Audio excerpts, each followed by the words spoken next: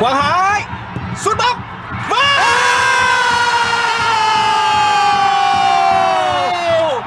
tuyệt vời Quang Hải. Tuyệt đó là sự khẳng định sự khẳng định của Quang Hải nói riêng và đội tuyển Việt Nam nói chung Và đó là sự xứng đáng hoàn toàn cho những gì mà chúng ta đã thể hiện ở trận đấu này. Lần này thì thủ thành Agua Winata hoàn toàn tâm phục khẩu phục với cú ra chân của Quang Hải. Lại là Dubai. Và dấu ấn Quang Hải lại xuất hiện.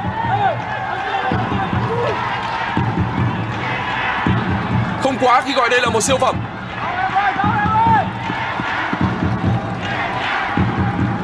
một cú đá đưa bóng kim thẳng vào góc xa không thành của đội tuyển Indonesia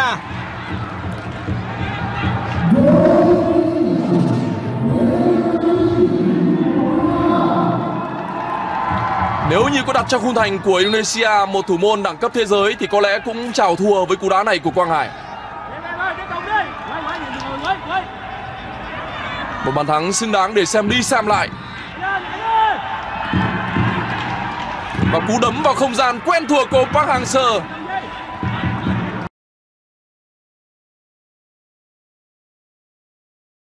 Ở 5 phút đầu của mỗi hiệp đấu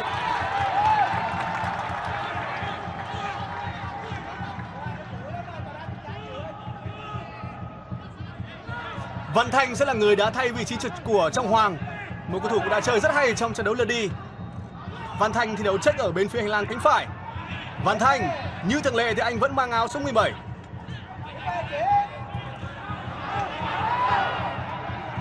Diễn ra cùng giờ với trận đấu này ở bảng G là cuộc đối đầu giữa các tiểu vương quốc Ả Rập Thống Nhất và Thái Lan. Đường chuyền của Quang Hải, vẫn là Quang Hải. Một tình huống mà Quang Hải chuyền bóng khi Tiến Linh đã di chuyển. Phải chăng đây sẽ là bất ngờ đầu tiên mà đội tuyển Việt Nam sẽ tạo ra từ quả đá phạt góc của Quang Hải Sút xa Rất có ý đồ. Đó thực sự là một tình huống mà đội tuyển Việt Nam gây ra nhiều bất ngờ cho Indonesia Phạm lỗi rồi. Tất nhiên là phải có một quả đá phạt và hơi tiếc là nó vẫn chưa phải trong khu vực 16 m 50 nhưng không sao. Đây vẫn là một thời cơ cho chúng ta. Những tình huống đá phạt góc như của Quang Hải mà chúng ta vừa được thấy và sau đó là một cú dứt điểm là điều mà Quang Hải và Văn Quyết đã không ít lần thực hiện trong áo câu lạc bộ Hà Nội. Một cú vô lê cực kỳ đẹp mắt Quả đá của Tuấn Anh. Quá hay. Tại UE năm 2016, Tuấn Anh đã từng tạo nên một siêu phẩm tại giải U23 châu Á. Tiếp tục là một cơ hội khác từ vị trí cố định của Quang Hải.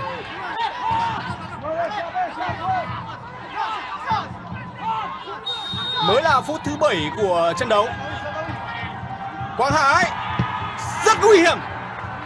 Tình huống đa chạm bóng dạng rất đa dạng ở cách đá của chúng ta. Lần này là một quả đá phạt bóng đi sệt. Và đến với vị trí của Tiến Linh. Quét Văn Toàn! Rất đẹp! Không vào! Đọc tình huống nhanh. Nhưng tôi ước gì Văn Toàn trong tình huống vừa rồi phát huy thêm sở trường bằng khả năng đi bóng tốc độ của mình để tiến gần hơn tới khung thành đối phương. Đọc tình huống quá hay! Đó là một pha bóng mà Văn Toàn đã phát huy được khả năng. Đọc tình huống và di chuyển không bóng của mình để có một cơ hội dứt điểm. Tuấn Anh tiếp tục phát triển bóng sang bên phía cánh phải cho Văn Thanh. Rất hay. Nhịp xử lý của Văn Thanh là quá tốt. Pha phối hợp giữa Quang Hải và Văn Thanh. Không được. Chỉ có một quả đá phạt góc với chúng ta. Chiếc thẻ vàng dành cho trung vệ Satria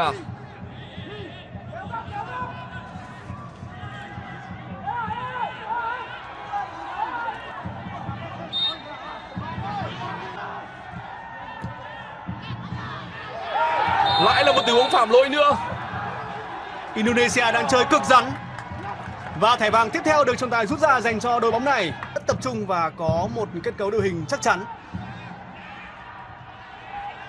Nhưng một khi tinh thần đi xuống thì đội bóng này lại dễ dàng bị vỡ trận. Cơ hội dành cho đội tuyển Việt Nam. hoan hô Văn Toàn cho dù trong pha bóng vừa rồi, tiền đạo của chúng ta không tạo ra được một pha dứt điểm nhưng tốc độ tuyệt vời của Văn Toàn đã tạo nên một tình huống trông chênh nơi hệ thống phòng ngự của đối phương. Cực kỳ quyết liệt. Trọng tài phải đến bây giờ mới thổi còi. Đó chắc chắn là một pha bóng triệt hạ. Trước đó thì Quế Ngọc Hải đã phải diễn tả lại pha phạm lỗi ác ý của đối phương và lần này đến Văn Thanh để trọng tài Ahmad có thể nhận ra sự nghiêm trọng từ lối đá của Indonesia. Thực sự là cao thủ Indonesia đang không đá bóng mà đá người thật. Rất phi thể thao.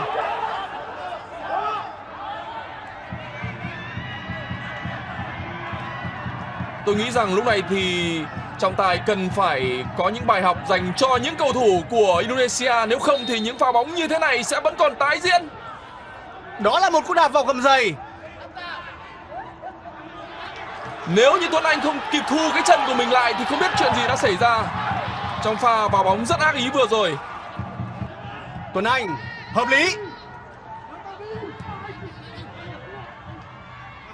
Hồng Duy Hồng Duy Hồng Duy.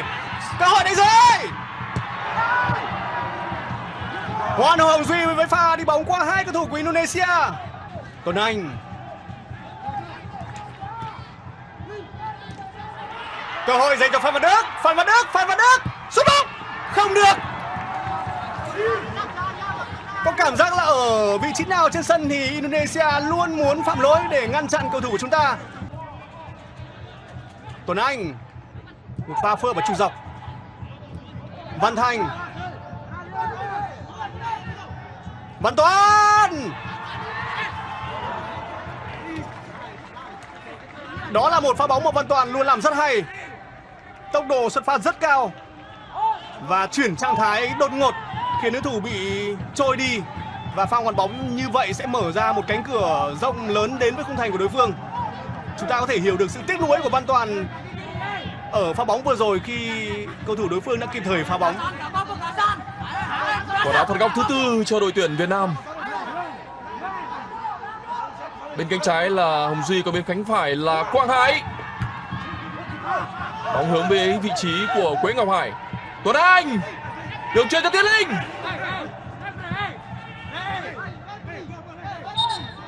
Và vừa rồi là tình huống xâm nhập của Quế Ngọc Hải Tuấn Anh sẽ được đưa ra nghỉ và người góp mặt là Xuân Trường. Không biết là có vấn đề gì với Tuấn Anh sau những tình huống vào bóng rất ác ý của đối phương hay không.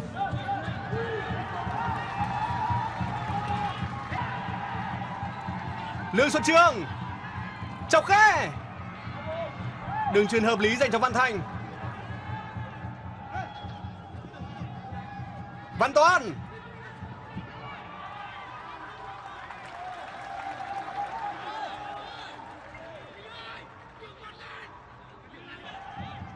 đường truyền của Tiến Linh, Xuân Trường Phan Văn Đức.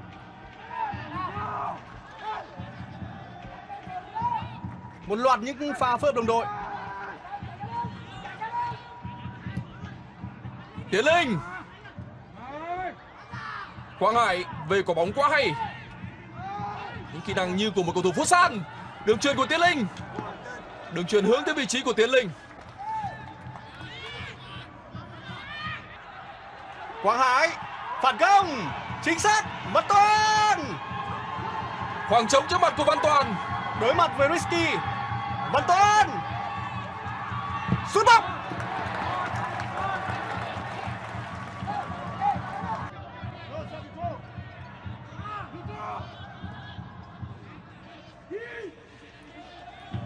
Thời gian kiểm soát bóng là hoàn toàn vượt trội nghiêng về phía chúng ta 72% thời gian kiểm soát bóng cho đội tuyển Việt Nam.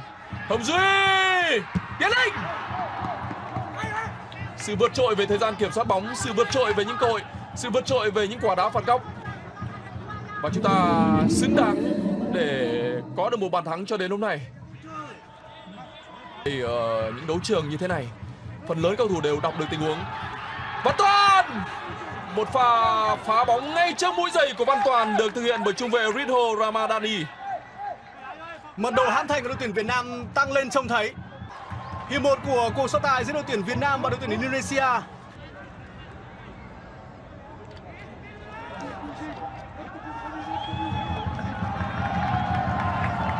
Việc công phượng vào sân là sự thay đổi cầu thủ thứ hai mà huấn luyện viên Park Hang-seo thực hiện ở trong trận đấu hôm nay. Xuân Trường vào sân thay cho Tuấn Anh, còn Công Phượng vào sân để thay cho Văn Toàn. Đến lúc này của mùa giải thì Công Phượng cũng đã có 6 bàn thắng ở giải vô địch quốc gia.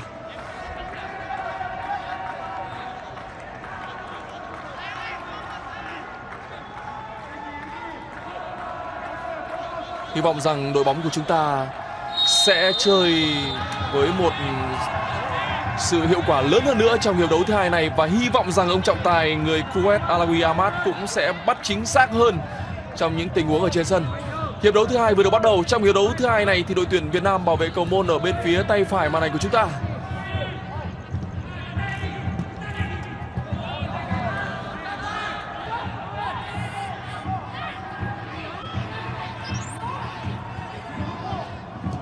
Văn Hậu là người đã mở tỷ số trong trận chung kết SEA Games với Indonesia bằng một pha đánh đầu ghi bàn sau quả đá phạt của Hùng Dũng.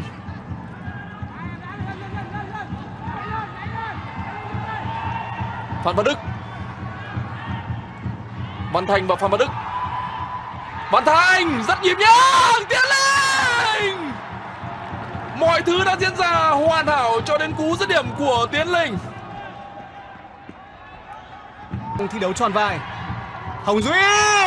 Tiến lên! Tiến lên ơi Tiến lên! Vẫn còn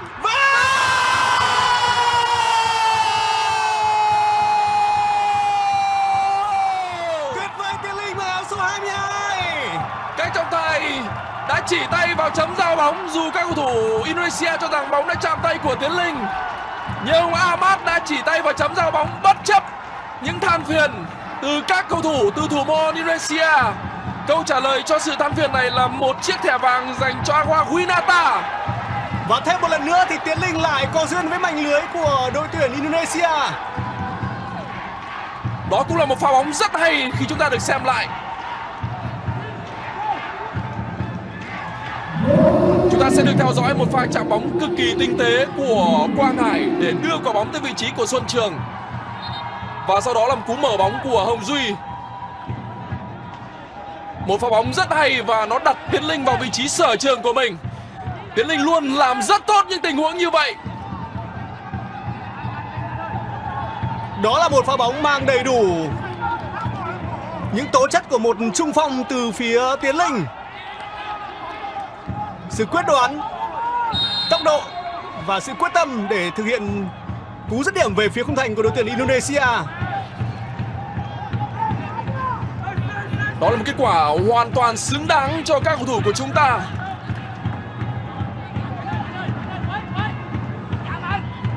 Và ghi bàn thứ ba trong chiến dịch vòng loại World Cup của Tiến Linh, và nó mang lại sự vỡ hòa của huấn luyện viên Park Hang-seo, ban huấn luyện và các cổ động viên và tôi tin rằng ngay cả bây giờ đã là một giờ sáng rồi, thì những âm vang cũng đã vang lên để ăn mừng bàn thắng này của Tiến Linh.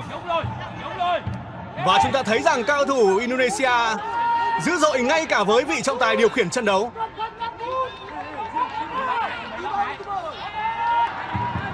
Văn Thanh, hợp lý. Phan Văn Đức.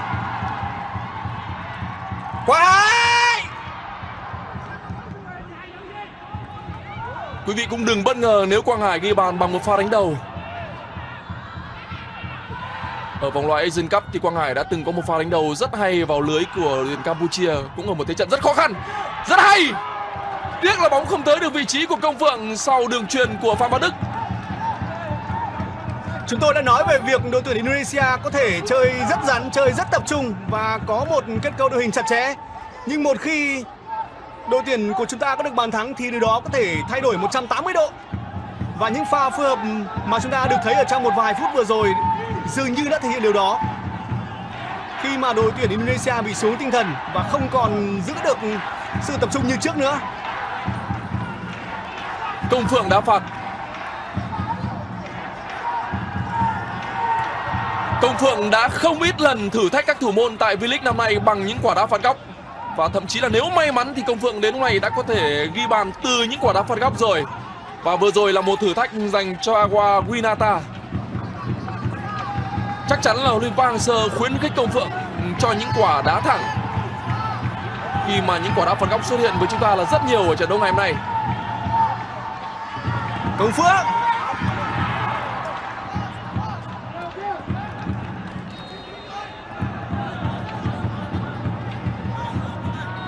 Thêm một quả đá phạt góc nữa.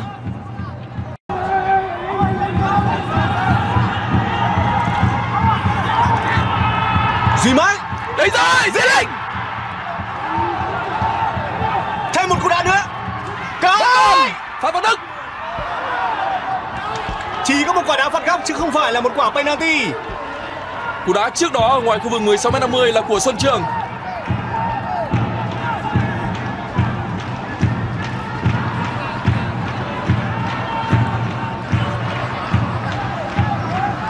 Xuân Trường vào sân và chúng ta vẫn đang duy trì được nhịp tấn công rất hiệu quả dồn dập về phía khung thành của Nadio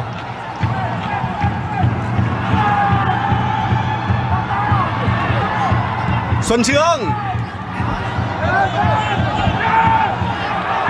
Quế Ngọc Hải là người đón đường truyền của Xuân Trường và thậm chí trung vệ của chúng ta sẵn sàng cho một pha tung người móc bóng. Hoàng Đức sẽ là cầu thủ vào sân ở trong những phút sắp tới. Và anh sẽ là sự thay thế cho Phan Văn Đức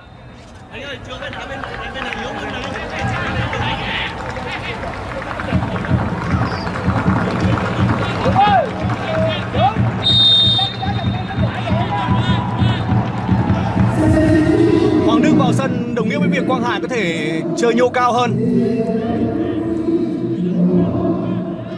Để cùng với Tiến Linh và Công Phượng tạo ra ba vị trí trên hàng tấn công của đội tuyển Việt Nam. Duy Mạnh. Xuân Trương, rất tốt. Hoàng Đức. Cánh trái là Hồng Duy đang di chuyển rất thoáng. Quang Hải Sút bóng. Và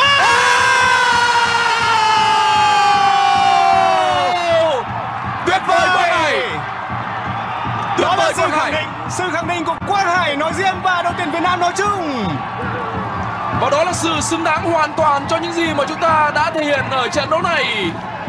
Lần này thì thủ thành Agua Winata hoàn toàn tâm phục khẩu phục với cú ra chân của Quang Hải lại là Dubai. Và dấu ấn Quang Hải lại xuất hiện.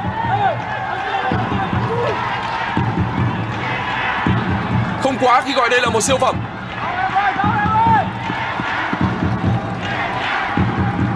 Một cú đá đưa bóng kim thẳng vào góc xa không thành của đội tuyển Indonesia.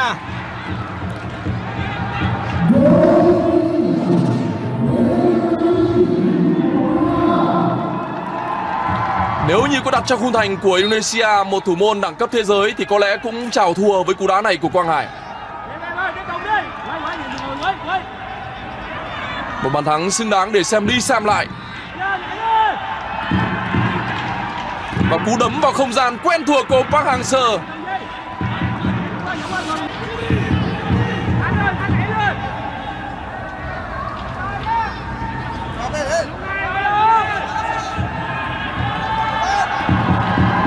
Quả đá phạt của Xuân Trường. Công Phượng đã có bàn thắng. Trong tay đã chỉ tay và chấm ra bóng và bàn thắng thứ ba dành cho chúng ta. Tất cả những màn ăn mừng của đội tuyển Việt Nam trong trận đấu ngày nay đều đẹp như cái cách mà họ làm tung lưới của đội tuyển Indonesia vậy Duy Mạnh cũng đã để lại một hình ảnh ăn mừng cực kỳ ấn tượng khi ghi bàn mở tỷ số trong trận lượt đi và hôm nay một hình ảnh cực kỳ ấn tượng của Công Phượng và các đồng đội cũng đã xuất hiện. Chúng tôi đã nói là có bàn thắng thứ hai thì bàn thắng thứ ba có thể cũng sẽ đến và nó đến rất nhanh, nhanh hơn cả mong đợi. Cú chạm bóng của Tiến Linh và Công Phượng như được ừ, lựa chọn để trở thành tác giả của bàn thắng thứ ba. Anh có mặt ừ, đúng chỗ và dứt điểm đúng nhịp để khiến Indonesia phải nhận bàn thua thứ ba. Và thêm một lần nữa thì Xuân Trường tỏa sáng với quả kiến tạo từ cú đá phạt góc rất có ý đồ của mình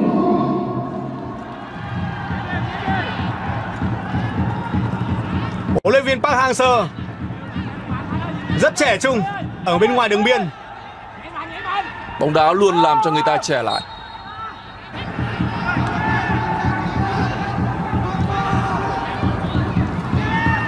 Trong trận đấu gặp đội tuyển Thái Lan thì huấn luyện viên Shin Tae-yong cũng đã thay 5 cầu thủ.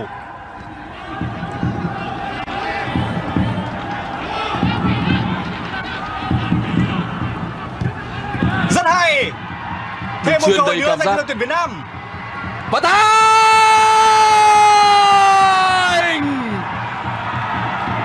Một màn siêu trình diễn trên sân khấu An Maktoum của các nghệ sĩ áo đỏ.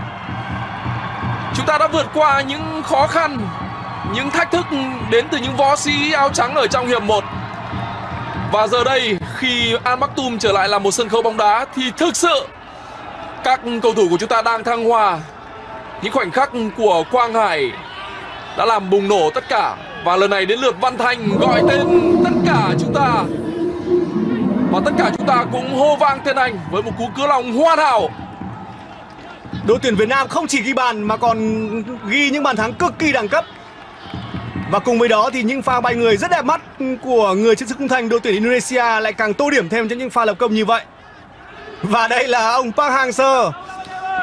Luôn là những cảm giác về những hành động xin phép được dùng từ đáng yêu từ phía vị huấn luyện viên này.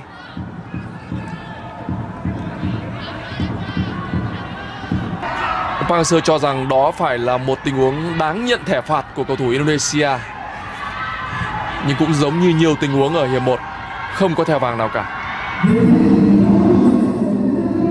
Hiệp 2 có 4 phút bù giờ. Và một con số 4 khác rất tuyệt vời là 4 bàn thắng của đội tuyển Việt Nam vào lưới Indonesia. và điểm số thứ 14 cũng đang chờ chúng ta.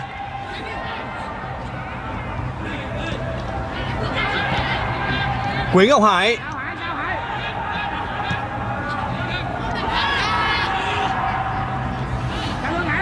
Quang Hải. Huấn luyện viên Lưu Đình Tuấn đứng ở ngoài đường biên và chỉ đạo rất to các cầu thủ ở trên sân. Xuân Trường Đội bóng áo trắng không còn có thể theo người được nữa Và tiếng còi man cuộc đã vang lên một trận đấu tưng bừng của đội tuyển Việt Nam với chiến thắng 4-0 trước đội tuyển Indonesia. Và chúng ta thấy là nhiều cầu thủ của Indonesia đã đổ gục xuống. Xin được chúc mừng các cầu thủ đội tuyển Việt Nam, huấn luyện viên Park Hang-seo với một trận đấu quả cảm, chặt chẽ, đẳng cấp và thành công.